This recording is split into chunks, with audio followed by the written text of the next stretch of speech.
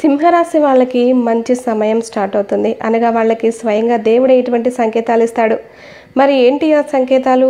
మీకు కూడా ఇంతకుముందు ఇలాంటి సంకేతాలు కానీ ఆ సంకేతాలు ఇవే అని చెప్పేసి మీకు తెలియక వాటిని పసిగట్టలేక లేదా అలాగే ఈ సంకేతాలు వస్తే మనకి మంచి జరగబోతుంది.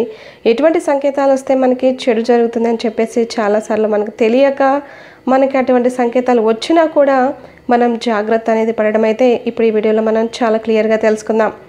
ఎటువంటి సంకేతాలు వస్తే మనకి మంచి అనేది జరుగుతుంది. చాలాసార్లు మనం అనుకుంటూ ఉంటాం అరే నా సిక్స్త్ సెన్స్ చెప్తుంది ఇది నాతో ఇలా జరుగుతుందేమో అని చెప్పేసి. లేదంటే కొన్నిసార్లు కొన్ని ఇన్సిడెంట్స్ జరిగిపోయిన తర్వాత మనకు అనిపిస్తుంది ఎక్కడో నాకు తడుతూ ఉంది ఇది కరెక్ట్ కాదని చెప్పేసి. అబ్బా ఆగిపోయి ఉంటే బాగుండేదే అని చెప్పేసి. సో అప్పుడు మనకి అవి సంకేతాలు అని చెప్పేసి తెలియదు. కాబట్టి మనకి ప్రతి ఒక్క పని లేదంటే నష్టం జరిగిపోయిన తర్వాత మనం ఈ విధంగా బాధపడుతుంటాం. అయితే ఇప్పుడు మాత్రం ఈ వీడియోలో చాలా చక్కగా మనం ఆ సంకేతాలు ఏంటో తెలుసుకుందాం. స్వయంగా సింహరాశి వారికి దేవుడే సంకేతాన్ని పంపిస్తాడు. వాళ్ళకి ఆ సంకేతం కేవలం గుర్తొస్తే సరిపోతుంది. వాళ్ళకున్న ప్రతి ఒక్క దుఃఖం బాధ అలాగే ఎటువంటి ప్రాబ్లమ్స్ ఉన్నా సరే ప్రతి ఒక్కటి క్లియర్ అయిపోతుంది. ఇక మీకు మంచి రోజులు మొదలవుతున్నాయి. వీడియోలోకి వెళ్ళబోయే ముందు మీరు ఎవరైనా ఇంకా కూడా ఛానల్ని సబ్స్క్రైబ్ చేయకపోతే వెంటనే సబ్స్క్రైబ్ చేయండి. పక్కనే ఉన్న బెల్ ఐకాన్ని క్లిక్ చేయండి. దానితో అన్ని ఇంట్రెస్టింగ్ వీడియోస్ వెంటనే మొట్టమొదటిగా మీ దగ్గరికి నోటిఫికేషన్ రూపంలో వచ్చేస్తుంది. ఇక మొట్టమొదటి సంకేతం ఏంటి అంటే చాలాసార్లు మనకి మనం తెలియకుండానే అంటే మనం నిద్ర లేచిన తర్వాత మనం చేసుకునే పనులు అనేవి చేసుకున్న తర్వాత మనం కానీ ఎప్పుడైనా మన మొహాన్ని అద్దంలో చూసుకుంటే మనకి మనమే చాలా అందంగా కనిపిస్తుంటాం. పక్కన వాళ్ళు ఎవరైనా మనకి కాంప్లిమెంట్ ఇస్తే దాని మాట వేరు. కానీ కొన్నిసార్లు మనం చూస్తూ ఇవాళ నేను చాలా బాగున్నానని చెప్పేసి మన లైఫ్లో అదొక రకమైన కాన్ఫిడెన్స్ అనేది క్రియేట్ అవుతుంది. మనల్ని మనమే పెద్ద అద్దంలో చూసుకుంటూ ఉంటాం. తెల్లని కాంతి మన మొహంలో కనపడుతూ ఉంటుంది. ఇది ఫ్రెండ్స్ మీకు ఇంకా మంచి జరగబోతుంది అని చెప్పేసి వచ్చే మొట్టమొదటి సంకేతం అనమాట ఇక రెండో సంకేతం. మీరు ఎవరినైనా డబ్బులు అడగాలని చెప్పేసి వాళ్ళ దగ్గరికి వెళ్ళాలి అని అనుకుంటూ ఉంటారు కదా. ఆ సమయంలో మీ మనసులో మాట నిజమవుతూ ఉంటుంది. అందులోనూ అసలు నుంచి ఆ మనిషి మీకు సహాయం అనేది చేసేస్తుంటాడు. ఇది కూడా మీకు వచ్చిన రెండవ సంకేతం అనమాట ఖచ్చితంగా ఇటువంటివి మనకు చాలాసార్లు జరుగుతూ ఉంటాయి. కానీ మనకి వాటి గురించి అవగాహన లేకపోవడం వలన మనం ఏంటి ఇది? భలే కోయిన్సిడెన్స్ జరిగింది అని మనం అనుకుంటూ ఉంటాం. ఇక మీ ఇంట్లోనే మీ ఫ్యామిలీ మెంబర్స్ ఎవరైనా ఏ కారణం చేత ఏమీ లేకుండానే మీకు సడన్గా డబ్బులు ఇచ్చి ఉంచుకో లేదంటే దీన్ని వాడుకో ఏదో ఒకదానికి ఖర్చు పెట్టుకో అని చెప్పేసి చెప్తారు. అంటే అన్ఎక్స్పెక్టెడ్గా మనీ అనేది మీ ఫ్యామిలీ మెంబర్స్ నుంచి రావడం ఇది కూడా మీకు మూడవ సంకేతంగా పనిచేస్తుందన్నమాట. ఇది కూడా మీకు మంచి జరగబోతుందని చెప్పేసి సంకేతం రావడమే. ఇక దీంతోపాటు మీరు ఇంట్లో నుంచి బయటకు వెళ్ళేటప్పుడు మీకు అన్నీ నిండు కుండతో నీళ్ళు కానీ లేదంటే పాలు కానీ లేదంటే పాలు తీసుకుని వస్తున్న వాళ్ళు కానీ నీళ్ళు తీసుకుని వచ్చేవాళ్ళు కానీ ఇటువంటివి ఎవరైనా సరే మీకు ఎదురవుతుంటే అది కూడా మీకు చాలా మంచిగా జరుగుతుంది అని చెప్పేసి సంకేతం అనమాట ఇక ఫ్రెండ్స్ దీంతోపాటు మరొక సంకేతం అదేంటి అంటే మీ ఇంటి డాబా పైన కానీ లేదా మీ ఇంటి చుట్టుపక్కల ఉన్న సరౌండింగ్లో కానీ కోతి మామిడి పండు తినేసి ముట్ట ఏదైతే ఉంటుందో అంటే సీడ్ అనమాట విత్తనం. దాన్ని మీ పరిసరాల్లో ఇంటి పరిసరాల్లో పడేసి వెళ్తే అది చాలా మంచి సంకేతం. మనం చాలాసార్లు చూస్తుంటాం కదా మనం బట్టలు ఆరేయడానికి లేదంటే నార్మల్గా డాబా పైకి వెళ్తుంటే మనకు తెలియకుండానే మన ఇంటి డాబా పైన ఇలాంటి విత్తనాలు పడి ఉంటాయి. ఇది ఎక్కడి నుంచి వచ్చింది అని అనుకుంటాం. అది కూడా ఒక సంకేతమే.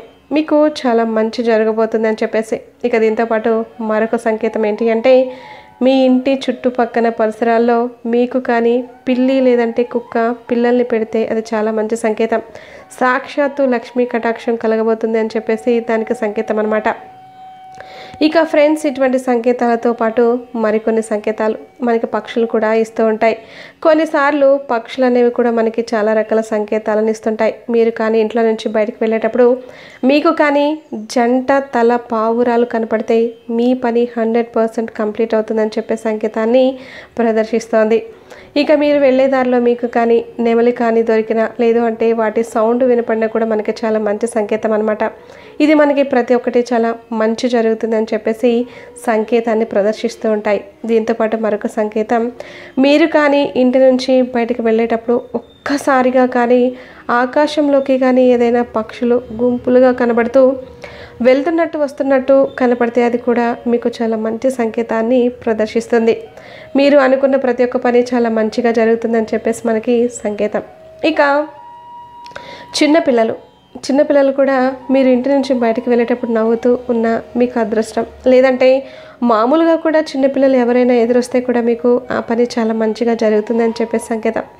మన పెద్దవాళ్ళు కూడా చెబుతుంటారు కాకి కానీ మన ఇంటి ముందుకు వచ్చి కూర్చొని పెద్దగా అరుస్తుంది. అంటే ఎక్కడో ఒక చోట మన పితృదేవతలు ఎక్కువగా అసంతృప్తిగా ఉన్నారని చెప్పేసి. అలాగే మీరు ఇంట్లోంచి బయటకు వెళ్ళేటప్పుడు మీకు కానీ కాకి ఎదురుస్తే మాత్రం ఖచ్చితంగా కాసేపు ఆగి తర్వాత బయటికి వెళ్ళాలని చెప్పేసి కూడా చెప్తూ ఉంటారు కదా. ఇక కొన్నిసార్లు మీ ఇంట్లోకి మీకు తెలియకుండానే కొన్ని పక్షుల ఫెదర్స్ అన్నమాట. అంటే వాటి యొక్క రెక్కలు మీ ఇంటి ముందు పడి ఉన్నాయన్నమాట. అటువంటిది కూడా మీకు చాలా మంచి సంకేతాన్ని కలిగిస్తుంది. కానీ మీరు ఇక్కడ గుర్తుపెట్టుకోవాల్సింది ఏంటి అంటే అవి దేనికి సంబంధించిన ఫెదర్ అనేది కూడా మీరు ఇక్కడ గమనించుకోవాలి. ఇక ఫ్రెండ్స్ దీంతో పాటు మీకు వచ్చే మరొక సంకేతం. మీరు కానీ ఇంట్లోంచి బయటికి వెళ్ళేటప్పుడు మీకు కానీ ఆవు కనపడితే మాత్రం చాలా మంచిది. మీకు దానికి సంబంధించిన ఏదైతే రిజల్ట్ ఉంటుందో అది కనపడుతుందన్నమాట. ఒకవేళ ఆవు మీకు ఎదురు వచ్చిందంటే ఖచ్చితంగా ఇంట్లో నుంచి ఏదో ఒకటి పండో పలహారమో తీసుకొచ్చి దానికి పెట్టి దండం పెట్టుకొని వెళ్తే మరింత మంచి అనేది జరుగుతుందనమాట ఆవులు కూడా మీకు తెల్లవి ఎదురొస్తే ఏడాది మరింత మంచి శుభ సంకేతం అనేది కలుగుతోంది. మీ ప్రతి ఒక్క పని చాలా మంచిగా జరుగుతుంది అని చెప్పేసి దానికి సంకేతం. నేను చెప్పిన ఇటువంటి సంకేతాలలో ఇంతవరకు మీకు ఎటువంటి సంకేతాలు వచ్చాయి? మీకు కానీ ఎటువంటి సంకేతాలు వస్తాయి మీరు చాలా సంతోషపడాలి. ఇక మీకు మంచి రోజులు వచ్చాయి. మీరు కానీ మా ఈ వీడియో చూసినట్లయితే తప్పకుండా లైక్ చేయండి. అలాగే నవంబర్ మాసంలో ఒకటవ తారీఖు నుంచి పదిహేనవ తారీఖు వరకు సింహరాశి వారికి ఎలా ఉంది తెలుసుకునే ముందు గ్రహ సంచారం తెలుసుకుందాం. ఈ రాశి నుంచి రెండో ఇంట కేతువు అలాగే మూడో ఇంట రవి ఇక నాలుగో ఇంట శుక్రుడు. బుధుడు ఏడో స్థానం నుంచి ఐదో ప్రవేశం. ఇక ఏడో స్థానంలో శని వక్రించడం. అష్టమ స్థానంలో రాహు అలాగే దశమ స్థానంలో గురువు వక్రీకరించే స్థితి పొంది ఉండడం చూసినట్లయితే ప్రధానంగా ఈ యొక్క రాశి వారికి పాపకత్త యొక్క ప్రభావం ఏర్పడడం వల్ల కొంత ఇబ్బందికర పరిస్థితులు కనిపిస్తున్నాయి. ఎందుకంటే ఈ రాశి నుంచి కేతువు మరియు ఈ రాశి నుంచి పన్నెండుకు స్తంభించి ఉండడం. ఈ కారణం చేత పాపగ్రహాల మధ్య రాశి ప్రభావం ఉన్నప్పుడు అన్నీ కూడా ఎలా ఉంటాయంటే ఈ యొక్క గత వారం రోజుల కిందటి నుంచి మీరు కనుక సింహరాశి వారికి చూసుకున్నట్లయితే ఎలా ఉంటుంది అంటే ఇరవై మూడు తర్వాత నుంచి అక్టోబర్ నెల ఎలా ఉంటుంది? సాధారణంగా అన్ని పనులు అవుతున్నట్టుగానే అనిపిస్తాయి. కానీ ఏ పని పూర్తి కాదు. ప్రతిదీ కూడాను అడ్డంకులతో ముగుస్తుంది. ఎందుకంటే ఈ రాశి ముందు వెనుక పాపగ్రహాల యొక్క స్థితి ప్రభావం ఉంది ఈ కారణం చేత. అంతేకాకుండా సప్తమ స్థానంలో శని వక్రీకరించడం దశమ స్థానంలో గురువు వక్రీకరించడం ఇది ఒక్కటే కాస్త వారికి యోగదాయకమైనటువంటి పరిస్థితి. ఇదొక్కటే గురువు రక్షిస్తున్నాడు. వచ్చే సంవత్సరం ఉగాది వరకు కూడా గురువు ఆ స్థితిలోనే ఉంటాడు. ఇక మూడో ఇంట స్థానంలో రవి నాలుగో స్థానంలో శని శుక్రుడు బుధుడు. ఏడాది నుంచి శుక్రుడు ఐదో స్థానంలోకి రావడం విశేషించి శుభ అశుభ మిశ్రమ ఫలితాలు అనేవి సింహరాశి వారికి గోచరమవుతున్నాయి. ఇక ముఖ్యంగా గమనించినట్లయితే గ్రహాల యొక్క అనుగ్రహం సంపూర్ణంగా ఉండడం గ్రహ సంచారం అనుకూలంగా లేదు. పదిహేను రోజులు సుఖంగా మిగతా తొమ్మిది రోజులు కష్ట ఫలితాలు ఉంటాయి. కాబట్టి గ్రహానుగ్రహం గ్రహ సంచార ప్రభావం వల్ల మీకు మానసికమైన ప్రశాంతత ఉండదు. ప్రతి దాంట్లో కూడా బిజీ లైఫ్ అనేది ఉంటుంది. ప్రశాంతంగా ఒక చోట కుదురుగా ఉండలేని పరిస్థితి. ఈ నవంబర్ మాసంలో గోచారం అవుతుంది. ఇక గమనించినట్లయితే వ్యాపారస్తులు ముఖ్యంగా ఫుడ్కి సంబంధించిన వ్యాపారస్తులు అలాగే రియల్ ఎస్టేట్కి సంబంధించిన అలాగే విద్యాలయాలు ఎఫ్ఎంసీజీ అలాగే సూపర్ మార్కెట్లో జనరల్ స్టోర్స్ అలాగే హోటల్ ఇండస్ట్రీ ఉన్నవాళ్ళు రెస్టారెంట్ బిజినెస్లో ఉన్నవాళ్ళు ఇంకా చెప్పాలి అంటే తీర్థయాత్రలు దైవ సంబంధమైన వృత్తిలో ఉండేవారికి మంచి శుభ ఫలితాలు గోచారమవుతున్నాయి. ఇక ఈ గురు మార్పు జరిగినప్పటి నుంచి మీలో ఆత్మవిశ్వాసం పెరగడం అన్ని విధాలుగా మీకు ధనాదాయం. ఎందుకంటే గురువు వక్రీకరించడం కారణం చేత అక్టోబర్ నెలలో అప్పటి నుంచే మీ యొక్క ఆదాయంలో మార్పులు ఎందుకంటే గురువు వచ్చే సంవత్సరం వరకు ఉన్నాడు కాబట్టి ప్రభావానికి సంబంధించి ఇబ్బందులు ఎన్ని ఉన్నా గట్టెక్కుతారనే సందేహం లేదు. ఇక రియల్ ఎస్టేట్ రంగంలో ఉండేవారికి ఖర్చులు అధికంగా ఉంటాయి. రైతులు కొత్త పంటలు వేయకపోవడమే మంచిది. మీకు అనుకూలమైన పంటలు వేసుకోండి. కమర్షియల్ పంటల జోలికి వెళ్ళకండి. ఇక ప్రధానంగా విద్యార్థులు మంచి చక్కటి ప్రతిభను ప్రదర్శిస్తారు. మీరు కోరుకున్నటువంటి విద్యాలయాల్లో మీకు స్థానం లభిస్తుంది ప్రవేశం లభిస్తుంది. అలాగే విదేశీయానం విదేశీ విద్యకు సంబంధించి ప్రయత్నాలన్నీ కూడాను మంచి పరిణామంగా చెప్పచ్చు. విదేశీ విద్యకు మీకు అనుకూలంగా సమయం ఉంది. ఇక ఉద్యోగార్థులైతే కాస్త ఆచితూచి స్పందించాల్సిన పరిస్థితులు వచ్చే అవకాశాలు ఉన్నాయి నూతన ఉద్యోగంలో చేరడానికి అవకాశం ఏది మంచిది అని మీరు పెద్దల సలహా సూచనలు పాటించండి. మంచి నిరుద్యోగులకు ఉద్యోగ ప్రాప్తి అని చెప్పవచ్చు. ఉద్యోగ భద్రత కూడా పెరుగుతుందని చెప్పొచ్చు. ఇక వివాహానికి సంబంధించి ప్రధానంగా చూసుకున్నట్లయితే కొంత శుభ పరిమాణాలు జరుగుతున్నాయి. వివాహానికి నూతన వివాహం జరిగే అవకాశం ఉంది. దాంపత్య మరియు వ్యాపార భాగస్వాముల మధ్య జీవిత భాగస్వాముల మధ్య పొరపాటు జరిగే అవకాశం ఉంది. జాగ్రత్తలు పాటించండి. అన్నిటికంటే ముఖ్యంగా మీ ఆరోగ్యం పట్ల శ్రద్ధ వహించాల్సిన పరిస్థితి. ఎందుకంటే అష్టమ శని ప్రభావం వలన ఇక గమనించినట్లయితే ఈ యొక్క నవంబర్ ఒకటో తేదీ నుంచి పదిహేనవ తారీఖు వరకు ఏ ఏ రోజులో ఎలా ఖర్చులు అధికంగా ఉంటాయి లాభాలు ఎప్పుడు ఉంటాయి అలాగే మానసికమైన పరిస్థితి ఎలా ఉందనేది విషయాన్ని క్లుప్తంగా తెలుసుకుందాం. రాని బాకీలు వసూలవుతాయి. సోదర సోదరి మనుల సహాయ సహకారాలతో మీకున్నటువంటి ఖర్చుల్ని మీరు తీర్చుకోగలుగుతారు. ధనాదాయం చక్కగా ఉంటుంది. నూతన వ్యక్తుల పరిచయం ప్రభావం పన్నెండవ తారీఖు గోచారమవుతుంది. ఇక గమనించినట్లయితే తల్లిగారి ఆరోగ్యం పట్ల శ్రద్ధ వహించాల్సిన పరిస్థితి వాహనం నడిపేటప్పుడు జాగ్రత్తలు పాటించాలి.